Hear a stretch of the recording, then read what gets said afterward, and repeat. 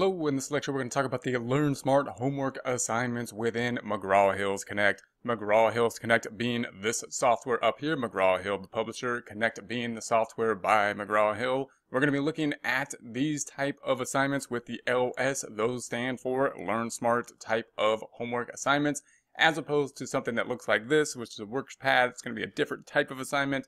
And of course, something that looks like this will be the type of quiz of assignment. Now the LearnSmarts, first thing I want to point out is that the LearnSmart is not the ebook.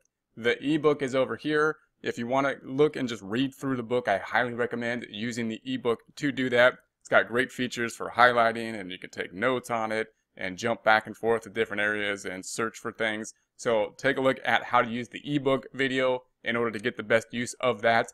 Now, having said that, there are areas within the LearnSmarts where you can read parts of the book but the point of it is to basically read the part of the book that relates specifically to that question that you're trying to answer. And we'll talk more about that as we take a look at this assignment. So let's take a look.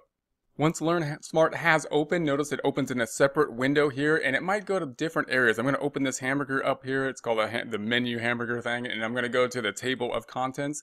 Oftentimes, it might open up with this closed and in the table contents like this. If that's the case, then what you want to do is open this up and have the table of contents ready and then go to the assignment that you're working on. It's showing you how much has been complete at this point. I'm going to just click on this assignment. This is the one we want to look at. And then it will jump to the actual questions. This is what actually needs to be done. So if it opens to the reading or if it opens to some other location in terms of reports or the help menu, then what you want to do is get to the area where it actually has the questions at some point. That's what needs to be done.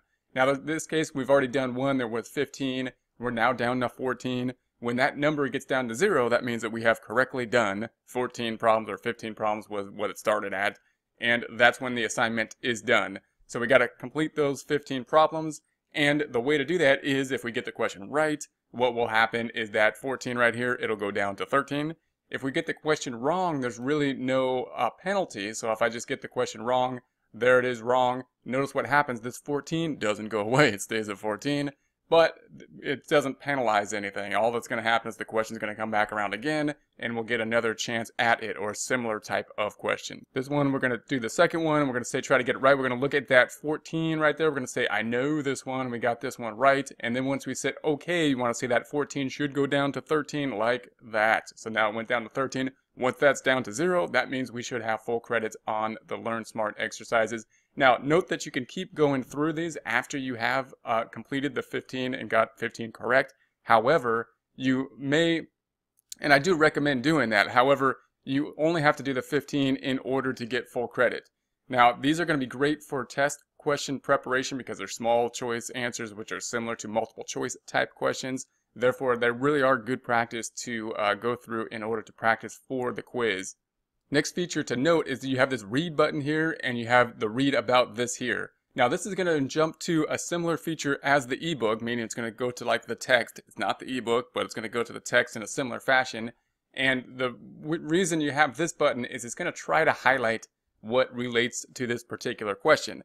Now it's not going to be perfect. It's not like the answer is going to be right there, but, or it might sometimes, but it might not all the time be right there but it'll go to the place in the book and even highlight that place in the book that should give you a good idea of the answer, how to find that answer. So you can read through that and then you hit this one or back to the practice here and that will take you back and then you can select the correct answer and move forward there.